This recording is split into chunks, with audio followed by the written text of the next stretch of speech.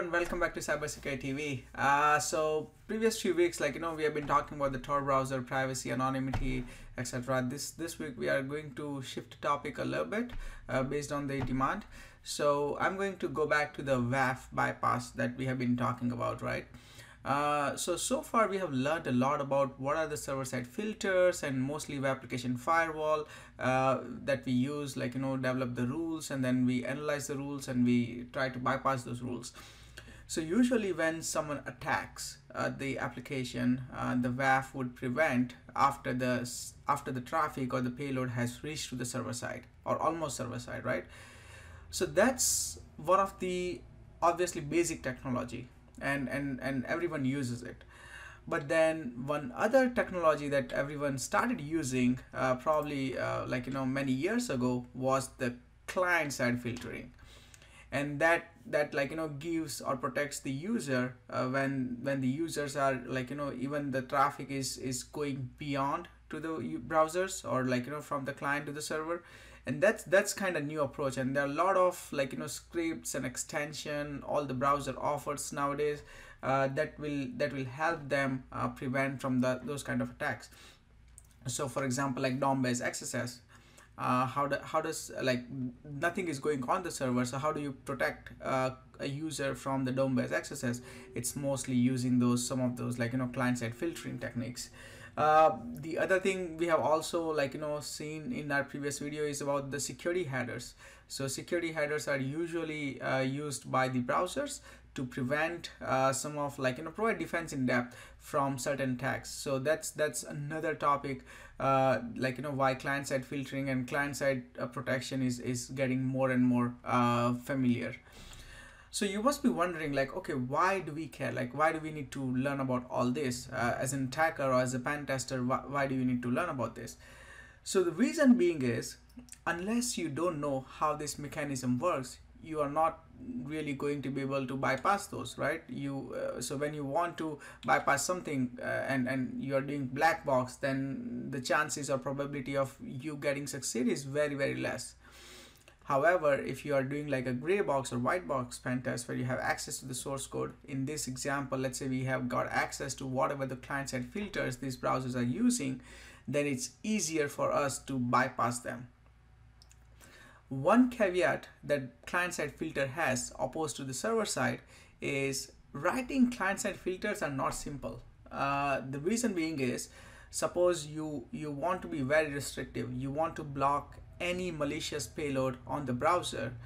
If if the filter or the extension does that then it might block basic user experience. Uh, so user might or might not be able to even like you know some basic things and then they get annoyed. So the rules on the client side have to be very very generic uh, which should like you know which should balance like uh, it should balance with security as well as with the user experience and that's where as an attacker you have a you have a like you know a real good chance to bypass some of those because the rules are are, are very very generic.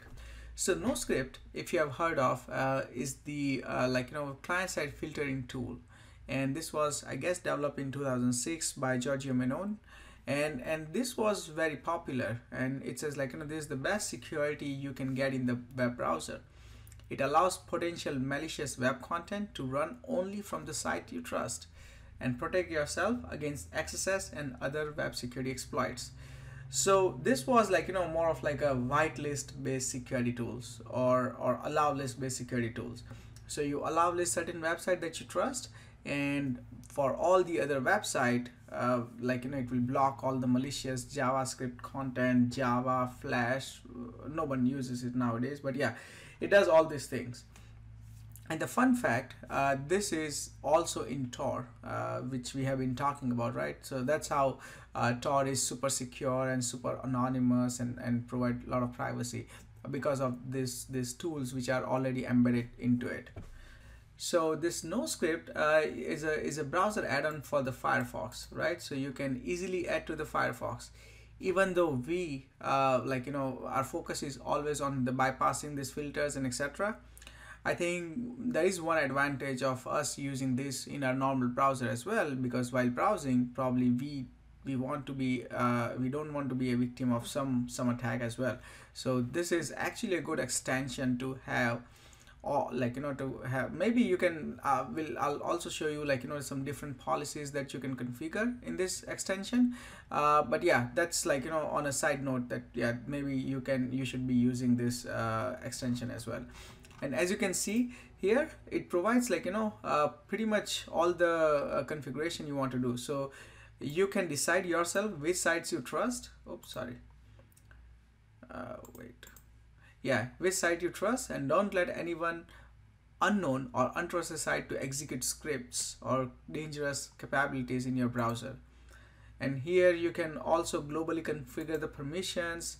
They have like you know very uh, uh, very granular or very detailed feature set in terms of what the security offers now the reason I'm, I'm talking about all this and and reason we are learning about this is because I in in the like you know I want to teach you like how do you analyze these rules and then we analyze how do we how are we going to bypass this.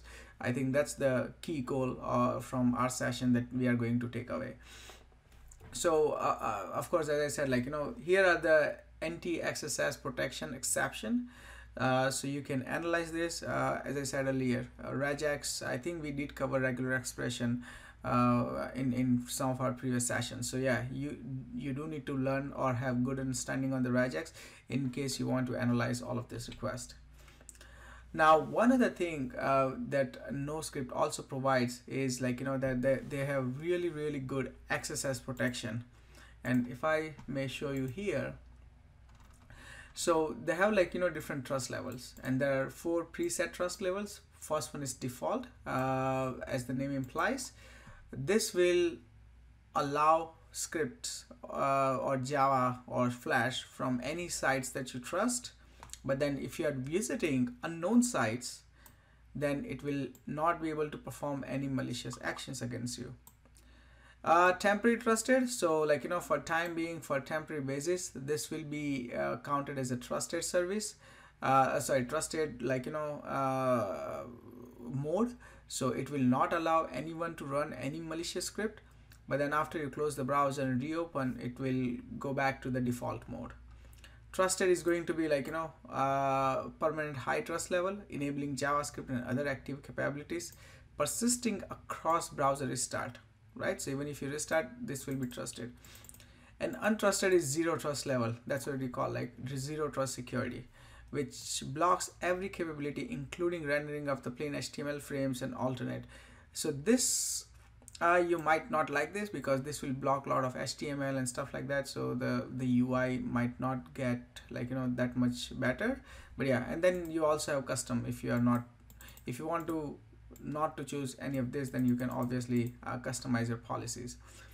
Now contextual policies are even more interesting because uh, they have given the example. Let's say you want to uh, enable script for twitter.com only if you are visiting a specific site.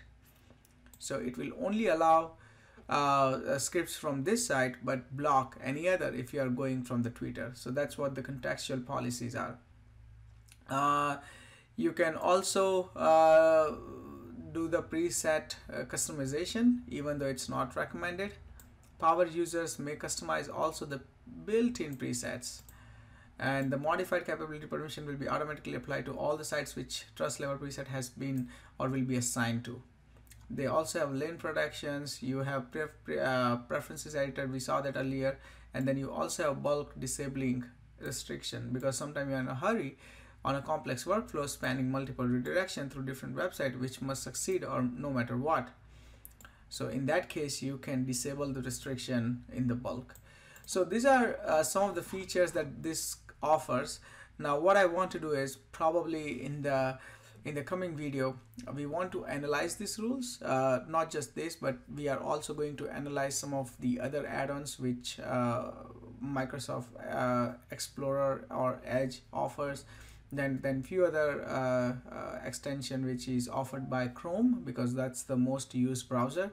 So we are going to uh, analyze their code and their scripts and and see how we can find the bypass out of those uh, rules because if you if you can find the bypass then half your job already done. Uh, so that's yeah i think i think that will be an interesting area. Uh, do let me know if you are interested in going further in, into this or would you prefer going back to the Tor uh, I would love your comments and based on that so I can plan it out. Uh, hopefully you like this video. Please hit the thumbs up if you do. And I'll see you all next Monday. Thank you. Bye